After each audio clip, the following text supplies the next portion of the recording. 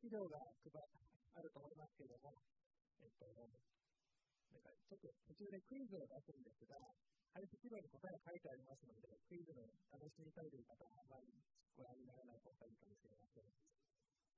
では、えー、始めます。えっと、まあちょっと、硬い話になってしまいますけれども、えっと、データアスクというのは何かというのをまず言いますと、えー、データっていうのは、まあ、数値の集まりということができます。例えば、1、2.5、100、3.14、点点点といったような感じで、まあ、どんなものでも、まあ、数値で表現できます。で、ただ数値を見ただけでは、それが何を表しているのかっていうのは、まあ、解釈はいろいろありますので、数値だけ見ても特に意味はないんですが、もしそれに何か意味が付け加わったものが情報となります。で、例えば、その、まあ、データっていうのは文字とか画像とか音声とか動画とかいろいろあるんですけれども、で数値に対して何らかの意味がついたものが情報で、データっていうのは単の数字がついてで、コンピューターの中では、すべてのデータは01の列で表されます。で、この01のことをビットと呼びます。これはデータの説明です。一応まだこれだけでよくわからないと思いますけれども、まあ後でもうちょっと例を出します。データ圧縮の圧縮というのは、このデータを表現する01列、ビット列の長さを短くすることです。で、まあ、データを小さく、長さを短くすることを圧縮と言いまして、で、その逆、圧縮されたデータから元のデータを求めることを、復元とか、緊張とか、複合とか、回答と言います。まあ、復元はそのままです。元のものです。身長っていうのは、えーと、小さくしてるので、その伸ばすということです。複合は、まあ、復元と同じような意味ですが、なぜこうしたかというと、まあ、圧縮してるのまあ、こう01の列を符号と言ったりするので、それを符号を元に戻すということで。あと、回答っていうのは、まあ、なぜそういうのかっていうのが、いだと思われると思うんですが、これはその、現在使われている圧縮のプログラムというか、まあ、ちょっと古いんですけども、これを開発した人が、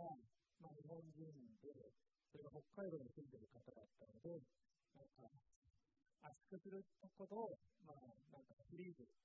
凍らせると言って、それもともとの回答と言ったので、回答っていう言葉が使われるようになりました。多分、この語源を知ってる人は少ないんじゃないかと思いますが、よく結構、回回答するっていうことが普通になんですけど、ないそうかっていうと、まあそういうことです。で、まあ、その今日はその圧縮の話です。で、圧縮には2通りの圧縮があります。一つは火薬圧縮。もう一つは非火薬火薬圧縮。で火薬圧縮の方は完全に元に戻る圧縮法のことを言います。で、どういう時に使うかというと、文書とか、プログラムのようなもので、ちょっと、えっと、まあ、完全に元に戻らないと意味がなさない時に使います。で、非可逆圧縮の方は、えー、完全には元に戻らなくて、人間には区別できない程度の違いがあると、元に戻されている。そういう場合に使う圧縮で、例えば画像とか、音声とか動画みたいなのは、まあ、その、パッと見てわからない程度の、えー、違いは、まあ、忘れて、その分、圧縮率を上げる、高くするっていうことをしています。よく使われている画像は、あの、JPEG っていう、あの、圧縮方式が画像で、MP3 っていうのが音声とか、まあ、音楽。MPEG っていうのは動画の圧縮形式ですけども、まあ、そういう場合は、えっと、ちょっと、ロスがある、ロス、えっと、微妙に違うものが世間される。ですが、まあ、今日の話はこの科学アスクのを扱います。完全に元に戻るものだけを、扱う方だけを扱います。で、まあ、あとは、圧縮に関連する話として、検索ということがあります。えーと、データがたくさんあると、あのまあ、まずデータ量が多いので、圧縮をしたいと思うわけです。で、その他に、データが多いと、その中から、えっと、検索をするときに、なるべく早く検索したいと思うわけです。で、で人が検索するときには、例えば本、本を検索する、本の中身を検索するっていった場合は、人が作品を使います。作品というのは、本の最後の方に実数ページ載っているわけですが、そのキーワードごとに、そのキーワードが何ページ載ってるかっていうのが、ずらっと書いてあります。で、その作品に載ってない単語っていうのは、当然、作品を使っては見つからないので、1ページずつ見ていくしかありません。で、計算機でも検索を高速に行おうと思うと、同様のことをします。作品っていうものを作ります。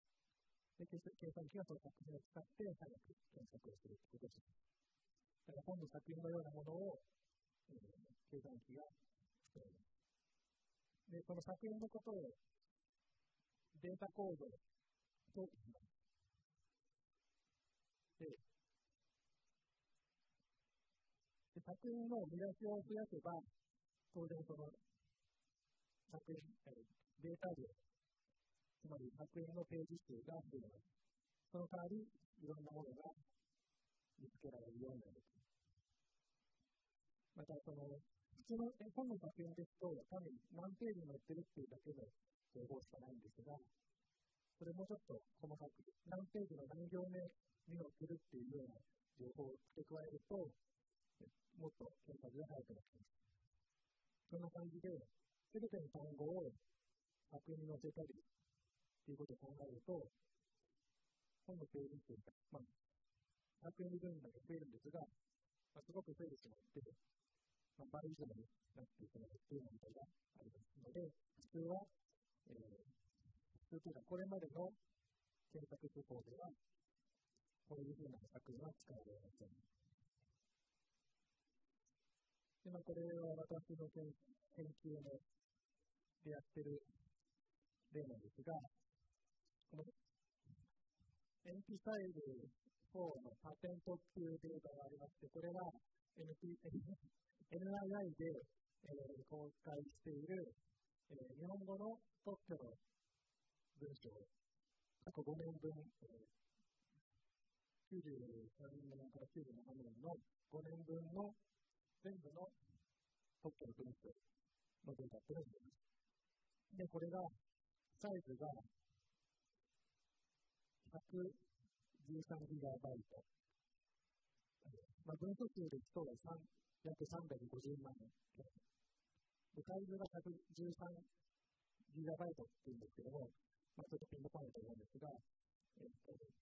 DVD1 枚が、えー、まあ、2種類あるんですけども、DVD、えっと、2層分って言っても、映像が、えー、4, 4時間分入るやつですと、1枚あたり10ギガバイトですので、まあ、DVD、えー、10枚分という感じです。で、まあ、普通の計算機ですと、計算機のメモリっていうのもやっぱりバイトで測るんですけども、まあ、せいぜい4ギガバイトとかなので、普通の計算機の20倍ぐらいのデータ量が、それますごく多いんですが、まあ、実は結構これ、日本語の文章っていうのは結構上長なので、圧縮すると小さくなって、この場合は15ギガバイトぐらいになります。だから、7分の1ぐらいですかになるんです、なります。ただし、圧縮してしまうと、検索がしにくいので、検索するために、そのデータコードを付け加えるということがあるんですが、そうすると、途端にこう、サイズが大きくなってしまいます。で、この設備ファイルズっていうのが、まあ、一つの作品の名前なんですけども、これを使うと、まあ、どんな単語で検索はできるんですけども、その代わりデータ量がすごく多くなっているというそういう問題がありました。で、まあ、私が研究している間接データコードっていうのを使いますと、この作品と元の文章のデータの合計が、圧縮前の 680GB あったのが 21GB ぐらいになって、30分の1も圧縮できるというような感じになっているんですが、まあ、私の研究はこういうことをやっています。まあ、ただ、あんまり細かい話はできないので、今日は主にそのデータアップっていうのはどういうふうにやるのかって話を中心に説明します。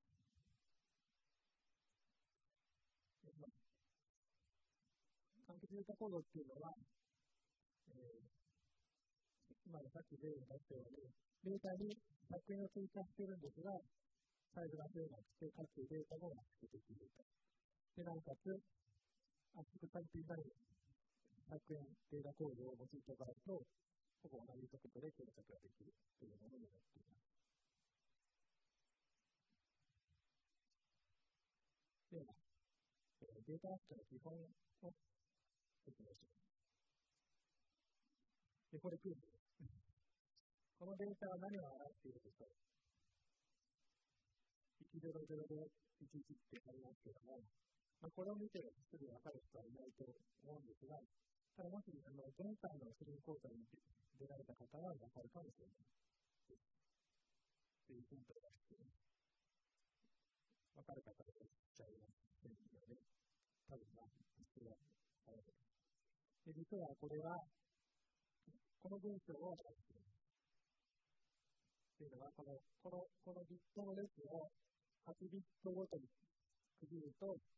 まあ、1バイトになって、まあ、それを2つ組み合わせると1つの漢字を表しています。これはそのシフト実コードっていう日本語の漢字コードなんですけども、まあ、こういう、まあ、この、こういう並びは、国っていうか、こっちにましょう。891とか、こう、この並びは国パワーとか、そういうものが決まっていて、それを見ると、こう、国立情報が研究所をなっていくことがわかるんですけども、もちろんこのデータだけ見て見ても、それがこうなるっていうのはわからないわけで、もうこれがそのデータ、データのその、データの情報かっていう違いなんですが、まあ、っていうことです。で、まあ、これを見ると結構、その、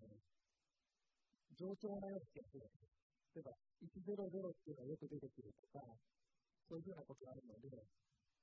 これをなんとか圧縮できないかっていうことを考えるわけです。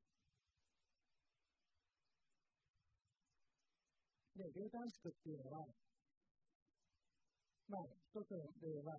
この桜作っていうこの店舗の文章ですね。もともと、まあ、これはその、長い文章をこう桜作みたいな短いものに置き換えると。いうことをするわけです。まあ、データアップの基本っていうのは、すべてのデータアップっていうのは、こういう長いものを短いものに置き換える。これでまあ、すべて言えるわけです。で、まあ、この桜作の例ですと、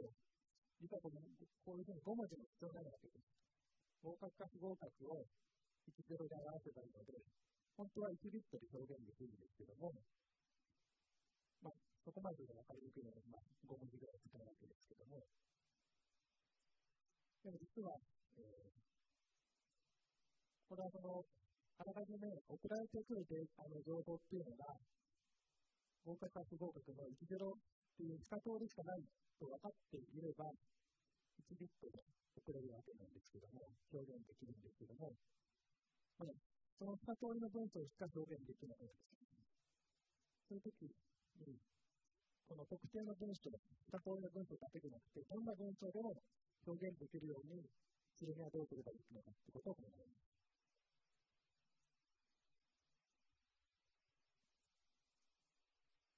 で、昔からある。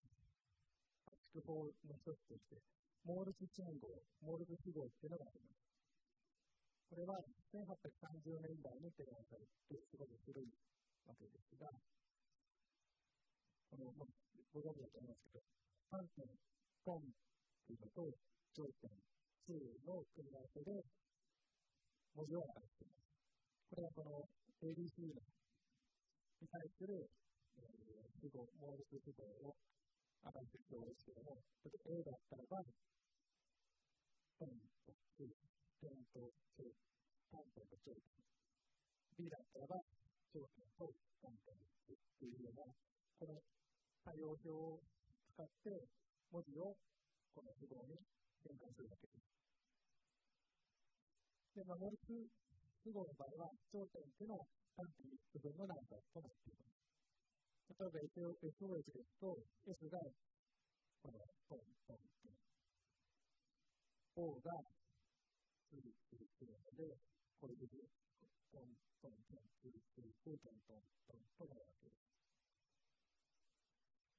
で、まあ、実はこの、まあ、余談ですけども、この SOS っていうのは、なぜ SOS っていうようになったかっていうと、このモイス号から来てるわけです。まあ、打ちやすいっていうことで、この形です。で、あと、この表を見ると、文字ごとに、この符号の長さが違うわけです。点が1つだったり、2つだったり、3つだって。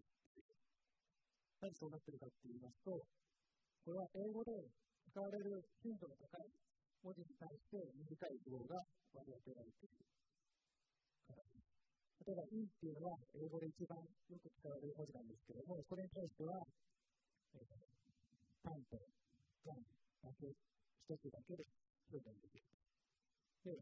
英語で2番目に使われる t っていう文字の場合には、頂点一つだけで表現されるというような感じで、よく使われるものを短い符号で表現している。これはデータラスになっています。例えば、えー、Q、Q とかっていうのはほとんど使われないわけですが、それは、こう、4つの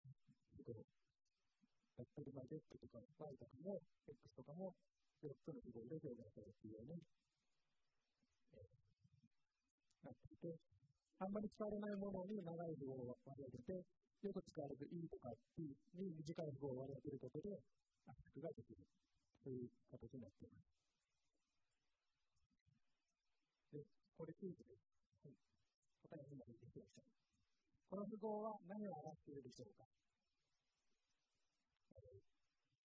ツートントンツーツートンツーツーツーツートントンで、これは、この符号が何を表しいるのかっていうのを、えー、求めるには、この表を使うわけです。この表を見て、えー、文字を復元するわけです。で、どうなるかっていうと、実は、最初の4つが X、次の4つが Y、次の4つが Z 上がっているので、X、Y、Z だろうと思うわけですが、でも実は、実はこの、こういうふうに、この DGOD を表現しているかもしれないです。なぜかというと、D っていうのは、えー、2ポイント。で、G は2、2ポイントっていう感じで、この、この元のこの符号を見ると、実は XYZ かもしれないし、DGOD かもしれないというような、通り、もしくはもっと何通りもの解説ができてしまうところになってしまいます。そうすると、この符号を見た人は、元の文字が何だったかっていうのが分からなくなってしまいます。なので、まあ、こういうのを一通りの符ではないということで、一人の符号可能ではないと言います。まあ、その原因は、一つの文字の表す符号がどこで消えているのか分からないと。切れ目がこれ4文字目かもしれないし、3文字目かもしれないっていう、何通りにも切り方があるっていうことになっていて、これでは、符号としては。何通りも解釈できてしまう。で、もう一つ符号でどうしてるかというと、文字の間には3.3分の足を入れるということで、まあ、出してみるですね。こう、この X の符号を打って、3.1分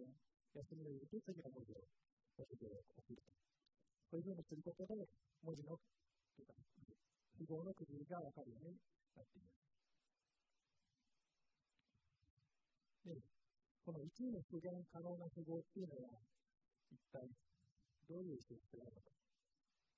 ていうのを見ていきます。で、1の復元可能な符号っていうのは、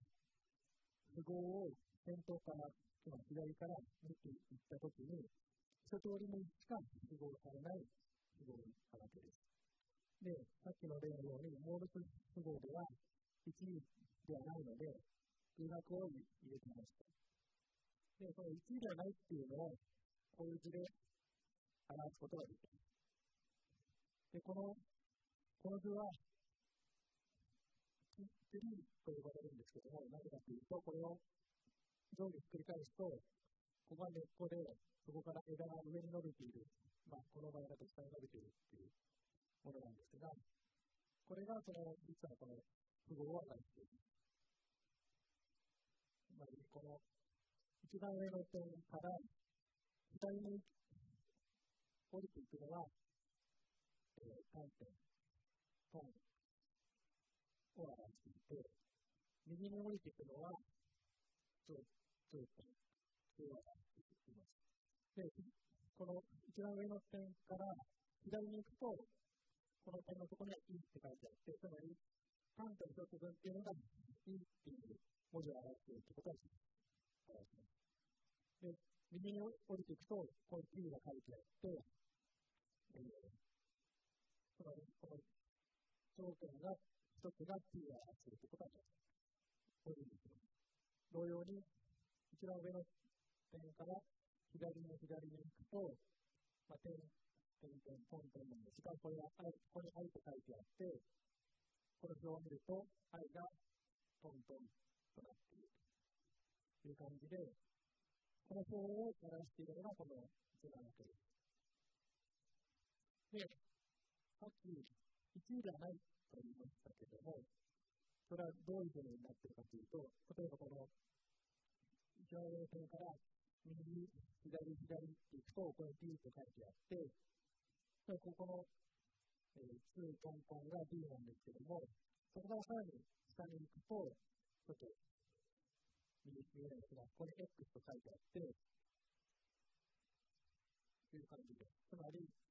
えー、こう、一番上の点からこう降りていったときに、途中のところに文字が書いてあると、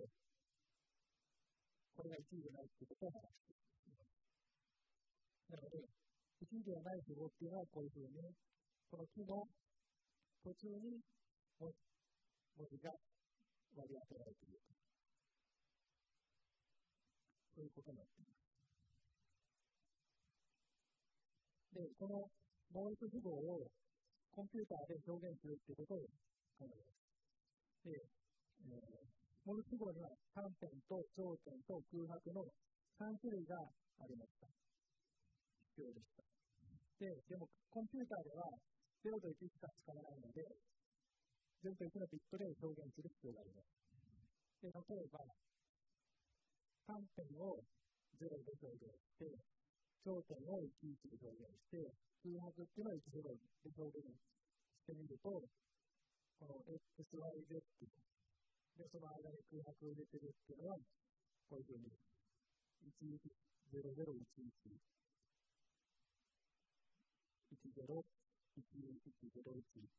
のように表現されます。つまりこの頂点が11になって、端点が0になって、空白が1であるというふうに表現することができます。まあ、これは一つの例です。別にこれに限ったことではないですが、まあ、例えばこんな感じで表現できます。で、このように表現したとして、で、各文字の符号の最後に、空白を表す10っていうのをつけている。それを先ほどの手の上で表現すると、こうなります。例えば、E っていうのはもともと単点1つだったんですが、それを単点を表す0と空白を表す10で表現します。010という状態です。で、この木の一番上の点から、0、1、0と左に左と辿っていくと、たところにこの E っていうのを書くと、つまりこの010が E を表すということはない。で、上に I っていうのは3点だけだったんですが、それは0、0、1、0って表現しています。で、この木の一番上の点から左左0、0、右左1、0って辿っていくと、こうなって、この点が、えー、愛を表す。愛っていう文字の符号を表す。っていう感じで。で、A に関しては、01110なので、左右、右、右左でいくと、この L と書いてあって、この点が A を表す。なっています。で、さっきとの絵と違うのは、木の内部の点に文字が書いてないということです。先ほど、木の内部の点に文字が書いてありましたけども、そうすると、同じこのポンと2なんだけども、ある符号を表す、ある文字を表していたり、別の文字を表していたりということがありましたが、こういうふうにすると、えー、こういうふうにっては、その符号の文字の最後に010空白を表す。符号を付け加えると、この木の内部には文字が割り当てられなくて、必ず、下にこれ以上先がないところに文字が割り当てられるようになります。そうすると、一応符号からになります。なので、まあ、この木は1年符合可能な符号を表現していると言います。で、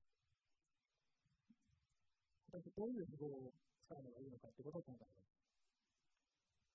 例えば、ABC、ABC、AB、すみません、ABC、ABC、AABA、AC、ABC という文字列を圧縮するところを考えます。で、一つ目の符号としては、A を00で表現する。B を01で表現する。C を10で表現するということを考えます。そうすると、最初の A が00になって、次の B が01になって、ということを繰り返していくと、このゼロゼロゼロ一ゼロゼロゼロっていうビッぐらいあります。で、その長さですけども、この、この最初の文字列の中に A が、A は8個、B が4個、C が4個出てきているので、えー、で、A は2ビットで表現しているので、2ビットかける8個。で、次に B は2ビットかける4個なので、2かける4。1年は 20×4 個 42×4 となって、合計で32になります。この01列の何かが32あるわけです。で別の符号を考えます。この符号では、A は00、B は1、C は01、こう符号からするとします。そうすると、ファクトは01の列が変わってきて、B が0であったのが1になったりします。で、この時の符号の長さを計算すると、A が2ビットかける8、B が1ビットかける4個、C が2ビットかける4個で合計28ビットとなって、さっきよりちょっと短くなりました。ちょっと厚くできました。で、別の符号から A を0と表現して、B を10、C で C を11で表現すると、このように0、10、11、こういうふうなビット率になりますが、この時の長さは1かける8足す2かける4足す2かける4で24ビットになって、最後圧縮ができました。というように、符号を変えると圧縮率が変わります。ちなみに、ここに書いてある符号はすべて1に符号、出現可能な符号になっています。例えば、最初の符号1ですと、A が00、B が01、C が1、0となっていて、この記の内部には文字が割り当てられていません。ページ5にでも、同様に、内部には文字が割り当てられていない。符号符号3も同様に、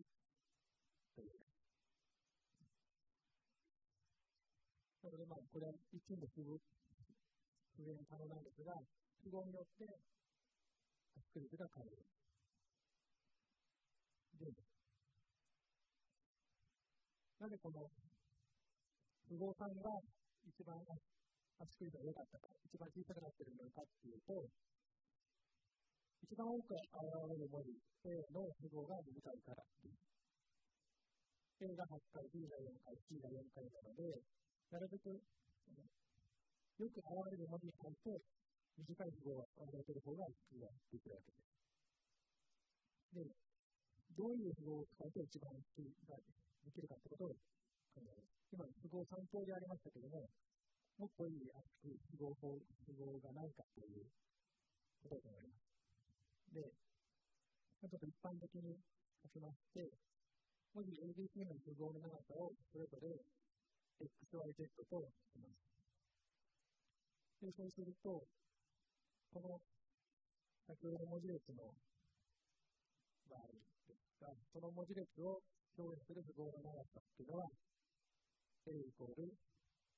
8x 足す 4y 足す 4z となります。8っていうのが A の数、4が B の数、この4が C の数となります。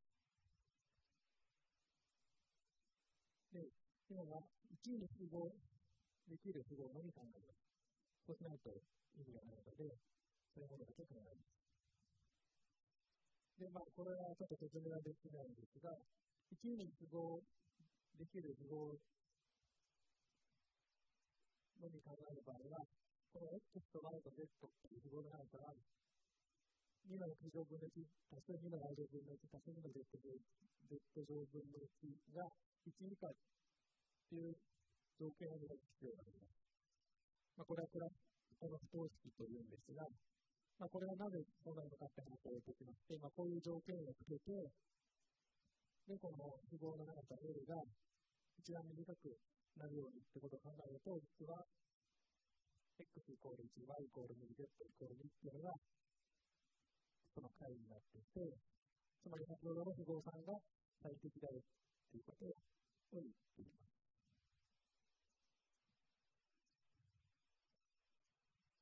で、ちょっと難しい話が出てきますけども、エントロピーっていうものがあります。まあ、エントロピーっていうのは統計力学、熱力学とかで出てくる話ですが、まあ、これ、この情報の方で出てくるエントロピーは、まあ、似てるんですけども、まあ、特に物理的な意味はないと思いますが、このようなページは、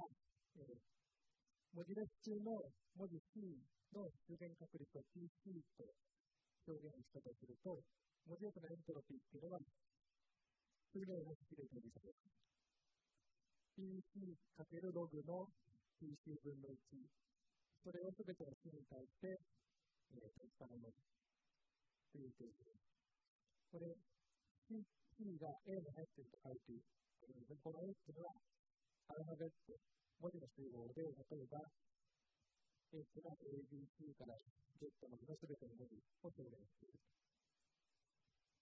というようなものです。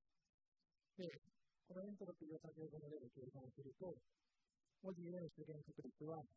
16個分の文字 A が確保だったので、確率は2分の1。文字 B と C に関しては4回出てくるので、16分の4で4分の1という確率になります。で、これを応用すると、先ほどの文字列のエントロピーは H イコール2分の1のログの1分の2足す点点点点の計算をすると2分の3となります。まあ、このエントロピーっていうのは、まあ、その一文字当たり何何ビット必要、符号化するのに一文字当たり何ビット必要かっていうことを表しているんですけども、先ほど何種類か符号を見せましたけども、まあ、定理としては、どんな符号でも、一文字当たりの平均ビット数は、エントロピーよりも小さくならないっていう結果があります。で、えー、先ほどの符号3の一文字当たりの平均ビット数っていうのを計算すると、符号3では16個の文字を24ビットで符号化してたので、つまり2分の3となって、1文字当たり2分の3ビット、1.5ビットで表現されていて、実際この値が今計算したエントロピーと一致しています。つまり、符号さんは、えー、最適な符号ということが言えます。で、まあ、エントロピーの式をよく見ると、2分の1かける、えー、ログの1分の2。で、ログの定は2になっているんですけども、つまりこれを計算すると、2分の1かける1足す4分の1かける2足す4分の1かける2で2分の3なんですけども、この式の意味は、この2分の1っていうのが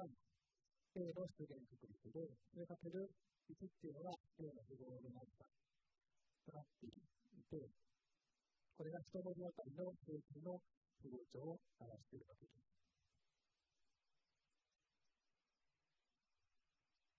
で、その平均の符号帳が、一番短い符号っていうのがありまして、それがハフマン符号というものです。これ大体、えー、60年前に提案されたものですが、これはまあ平均符号帳が最小の符号っていうことが証明されています。つまり、最も厚くできる符号っていうことになります。で、実はさっきの符号3っていうのは、ハーフマン符号になっています。でその作り方ですけれども、先ほどはその、なんか、方程式を解いて求めていましたけれども、実は、そんな難しいことをしなくても作れます。どうやるかと言いますと、文字列が与えられたままに、その中に出てくる文字を、各文字の頻度を数えます。そして、出現頻度が最小の文字、一番よく出てこない文字と2番目に少ない文字に対して、0と1を割り当てます。先ほどの例ですと、A が8回、B が4回、C が4回でしたので、一番出てこないのが B と C なので、それらに0と1を割り当てます。こんな感じで、まず、この木の一番上のところから左に行ったところに B を書いて、右に行ったところに C を書くと。つまり、B っていうのは0っていう記号で、C か1っていう記号で表せるっていうということになります。で、次に、この B と C を合わせて一つの文字にするということをします。どういうことかと言いますと、B と C を合わせて文字 B にします。つまり文字 B っていうのは、B または C っていうことを表しています。で、B と C がそれで4回ですので、文字 B が8回出てくるわけです。ということを繰り返します。で、次に、今 B と C が一つになって、B が8個っていうことになっていますが、そうすると A が8回、B が8回出てくるので、それぞれに0と1を投げ合ってます。A が0、B が1になっています。で、次に A と B を合わせて、文字 E が E だけにすると、それが16回出てきたということになります。そして文字が1つになったので、これ終わりです。で、これで、えー、符号がどうなっているのかっていうのを見ますと、今、A が0、B が1でした。で、実は D っていうのは D または C だったので、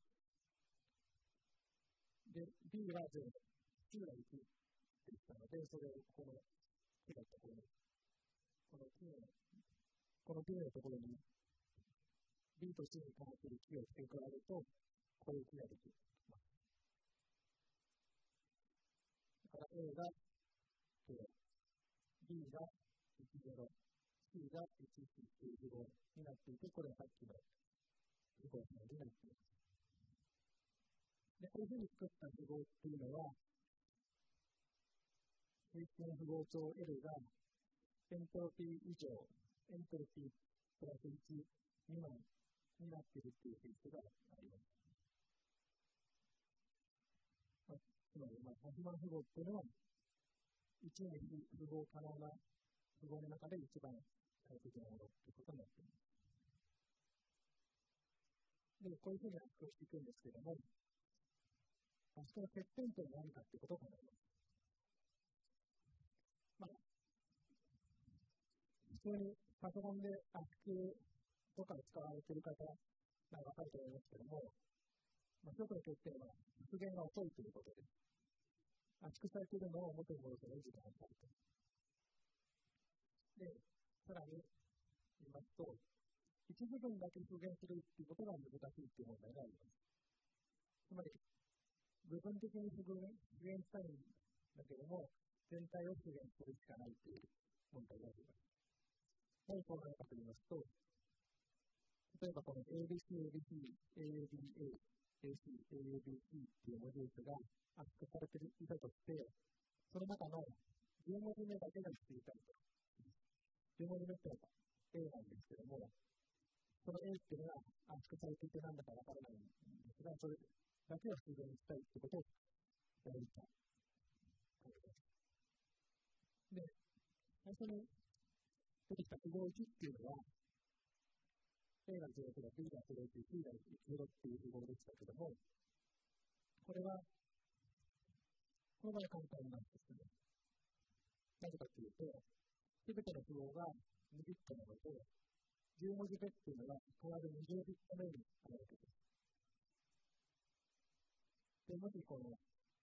まあ、20ビット目かどうかっていうのを人間が見ようと思ったら、こう、一個ずつ数えなきゃいけないんですけれども、まあ、もしこう、マス目がついていて、20ビット目がどこっていうことがすぐ分かるとすると、すぐにこの20ビット目を見ればいいので、ここに00って書いてあれば、それが10文字目が A ってことが分かるわけです。というように、この符号1の場合は、部分的に復元することが簡単です。では、符号3の場合、A が0、B が1、0、C が1、1の場合、どうかということですが、そうすると、この10文字目っていうのを文字を表している部分がどこかっていうのが実はよくわからないわけです。もちろん先頭から一つずつ見ていけばいいんですけども、っていう感じで、その、部分的に出現することは難しい。ということになります。で、先ほどの符号1っていうのは、すべての文字が同じビット数でしたけども、そういうのを固定調の符号と言っています。で、文字が、文字のアルファベットサイズをシグマとすると、そのシグマのログを取ったビット数で表現されます。あの、これってログっていうのは、ログの定が2の場合でして、ログを計算機で使う場合、あの、文字の場合は、アルファベットサイズが256になっていて、つまり一つの文字が8ビットで表現されています。で、コンピューターが扱うデータっていうのは、普通は固定調の符号で表現されているので、そうすると、その何文字目っていうのを取ってくるのが簡単なんですけども、これは全く圧縮されてない状態です。で、圧縮をしようと思うと、どうしても可変調の符号を使う必要があります。文字によって符号の長さが違うものを可変調と呼んでいるんですが、そういうふうにしないと圧縮できないので、圧縮っていうのは必ずその、よく現れる文字に短い符号を割り当てて、あんまり現れない文字に長い符号をやってるってことをそれしか圧縮できないので、そうすると必ず可変状の符号になってしまうんですけども、そうすると、まあ、圧縮はできるんですが、復元が遅くなると。なぜかというと、先頭から一文字ずつ復元していかないと、10文字目が何ビット目なのかということが分からないということです。これが圧縮によって、えー、符号が遅くなる理由です。では、何度かこれを早くしたいということを考えます。部分符号を高速化するということになります。今この1行目の ABC なんとかっていう文字列をの中の10文字目を復元するということになると。で、先頭から見ていったら遅いので、早くしようと思ったらば、途中から復元できるようにするです。そうするために、符号の回数値っていうのを記録しておきます。だから、一文字目っていうのは1ビット目からとかってます。で、一人ずつ復元していって、6文字目っていうのは、実は9ビット目から始まっています。11文字目は16ビット目から、16文字目は22ビット目からというのを、まあ、一気で復元すればわかるので、これを、これ1960、191623という数字を覚えておきます。そうすると、例えば 10, 文字目を復元しようと思ったらば、6文字目が9ビット目からってことが分かってるので、そこから6文字目、7文字目、8文字目、9文字目、10文字目と復元していけばいいので、どの文字を復元する場合でも最大5文字だけ復元すれば大丈夫ということが言えます。11文字目になると今度はその11文字目の場所が16ビット目っていうのが分かっているので、すぐそこから取ればいいし、12文字目だったら11文字目と12文字目だけ復元すればいいということになって、どんなに文字列が長くても、最大5文字出現すれば、ある特定の文字を出現することができます。これでまあ、後続にはなるんですけども、問題はこの回数値を覚えておかなきゃいけないので、それを表現するビットも必要なんです。1、9、16、23という数字を覚えておく必要があります。この回数値は何ビットで表現できるのかということを考えます。で、ちょっと次が出てきてしまいますが、文字列の長さを N とします。先ほどレールは N イコール16です。で、今、アルファベットサイズは N より小さいとします。で、文字列を圧縮した後のサイズ、ビット数を N とすると、M っていうのは n かけるログシグマ以下になります。これが n かけるログシグマっていうのは圧縮されてない状態の差別です。で、今、シグマは n 以下って仮定しているので、n ログシグマっていうのは n ログ n よりもことなります。で、関数値を d 文字置きに記憶したとします。さっきの例では d イコール5です。でそうすると、D 分の N との回数値を記録記録することになります。例えば、と5個置きだったので、5分の16個、まあ、3, 3個、4個の回数値を記録記録するわけです。で、一つの回数値っていうのは、何ビットで表現できるかということになりますと、回数値っていうのは、1から M の整数です。なので、そのログを取って、対数を取って、ログ M ビットで表現できます。で、これを計算しますと、すべての関数値を記憶するには、D 分の N ログ N ビット必要です。ちょっと式変形をすると、だいたい D 分の2倍の N ログ N ビット必要です。今これ b を b ログ n とすると、この値は n より小さくなるので、単純値は n ビット以下で表現できます。今、n 文字があるので、1文字あたり1ビット以下で解析値を表現できます。ということで、まあ、解析値を格納するためのあのビット力のサイズっていうのは、そんなに大きくはならないということが分かります。で、一つの文字を実現するために必要な時間っていうのは D に比例して書かれます。つまり D 文字復元しないと、一つの文字が復元できないので、必要な時間は B にすると。つまり B を大きくすると、復元が遅くなるんですが、作率が良くなる。つまり、B を大きくすると、この分母が大きくなるので、この2行目のこの式の分母が大きくなるので、えー、つまり、サイズが小さくなると。その代わり、復元するのに必要な時間が増えると。そういうトレードオフがあります。で、今の表現ですと、回数値っていうのは、確認するには、えー、確認するときに、B を小さくすると、復元早くなるんですけども、サイズが大きくなってしまうという問題があります。で、そこで、この回数値を圧縮するということを考えます。で、先ほどは数字で回数値を記憶していたんですが、それはビットレベルで表現します。つまり、この ABC なんとかっていう文字列を圧縮したものがこの010なんとかっていう文字列ですけども、それと同じ長さのビットレベルを使って、えー、1年経って立っているところっていうのは、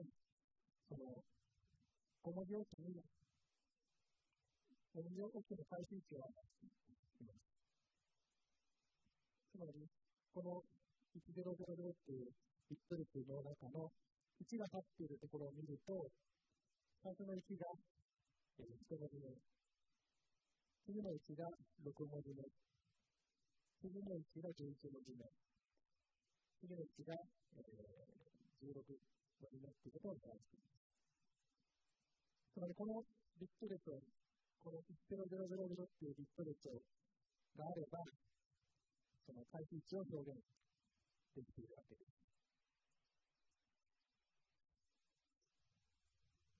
で、ここで間欠データ構造というものが出てきます。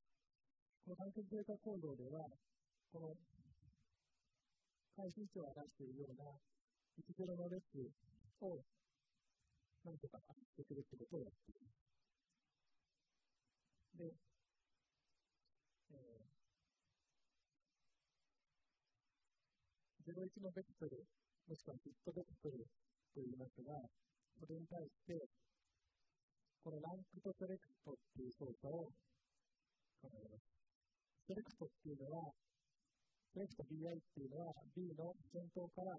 i 番目の1の位置、1の場所を返すような操作です。このセレクトの B1 ってやると、1が返ってきます。これは先ほどの1文字目の回数値を表しています。セレクトの B2 ってやると、9が返ってくるんですが、それは、この2つ目の1の場所で、これが6文字目の関数値になっているというような関係があります。だから、6文字目の関数値を求めようと思ったらば、このセレクトの B2 っていう操作を行えば、その9ビット目っていうことが書かれています。という感じで、えー、ビットベクトルに対してこういう操作を、ランクとセレクトっていう操作をができると、回数値が表現できる。まあ、それランクは使ってませんけれども。で、このセレクトを求めるときに、もちろんこれを、この B っていうビット列を先頭から見ていったのである、あると、先頭から見ていくと、えー、すごく時間がかかってくるので、これはやっちゃいけないと。で、それを早く求めるために、このようなデータ構造を使います。これは、このビット列に対して、このような木を作ります。で、これは、えー、この1と書いてありますけども、この1っていうのは、すみません、この一番下の一番左端の位置です。この1っていうのは、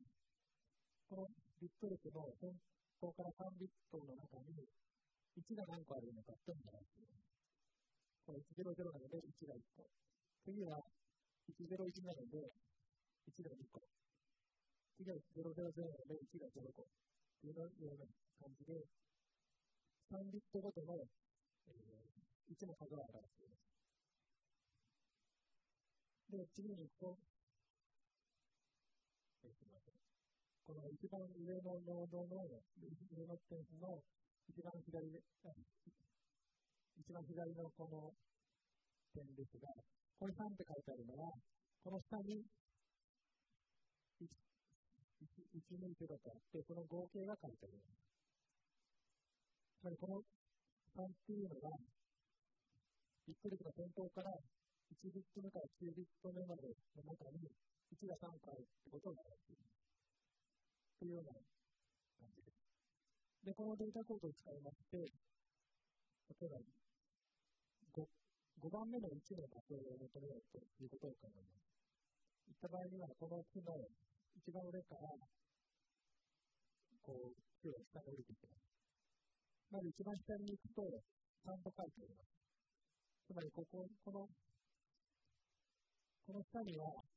1が3個しかないってことになっています。今、探してるのが5番目の1ですので、この3の下には5番目がないってことになります。この3なので、1番目が3番目いかないと。次にこの右の4っていうところを見ますと、つまりこの4って書いてるってことは、この下に1が4個あるってことが書いています。で、今、それより左側に3個あったので、今5番目っていうのは、この4の下にあるってことが書いています。というわけで、この4から下に下がっていきます。で、次に、この4の一番左の子供を見ると1が書いてある。ってことは、さっきの3と合わせて4番目のうちがこのよということになります。で、次は4の真ん中の子供を見ると、1と書いてあって、これはさっきの3と1と1を足すと、5番目の1がここにあるってことが分かって、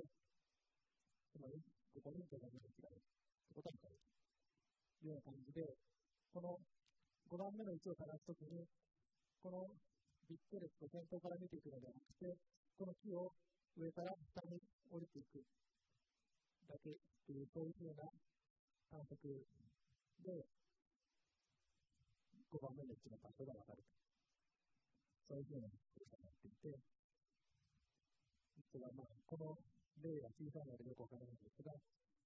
こうすると、このビット率を先頭から1ビットずつ見ていくよりも、随分速いスピードで求めることができます。で、どれくらい早いかと言いますと、えー、それはこのセレクトっていう操作が定数時間、まあ、要するに一瞬で求まるということになります。これは、今、圧縮しないで答えを記録しておいた場合と同じ時間で求まるということです。こういうように、そのデータは圧縮してあるんですが、えー検索の速度が圧縮してない場合と同じものっていうのを完璧データ構造と言います。という感じで、まあ、いろんなデータ構造に対して完璧データ構造、圧縮されたデータ構造っていうのがありまして、で、この私が作って公開している圧縮全文確認ライブラリー CSU リグっていうのがあるんですけども、これはその文字列の検索をするためのデータ構造でして、先ほどの特許の文章、3ギガバイトの中から、まあ、特定のパターンが何か出てくるとか、よく出てくるパターンがどういうものかっていうのを、まあ、すぐ求めることができます。例えばこれ、えっと、まあ、ある程度以上の回数で出てくるパターンっていうのを列挙すると、図であるとか、ることを特徴化するとか、することができるっていうものがよく出てくるってことが、このプログラムを作るとわかるんですけども、まあ、これはこの特許の文章なので、この特徴とするとか、そういうふうな言葉がよく出てきているっていうのが分かったりっていうような面白いことができます。という感じで、まあ、私の研究の話はあまりできませんでしたが、まあ、興味のある方は、この私のホームページを見ていただくと、あのいろいろな資料がありますので、あと、プログラムのそのので使ってみてください。というわけで、今、データ、明日の話は以上です。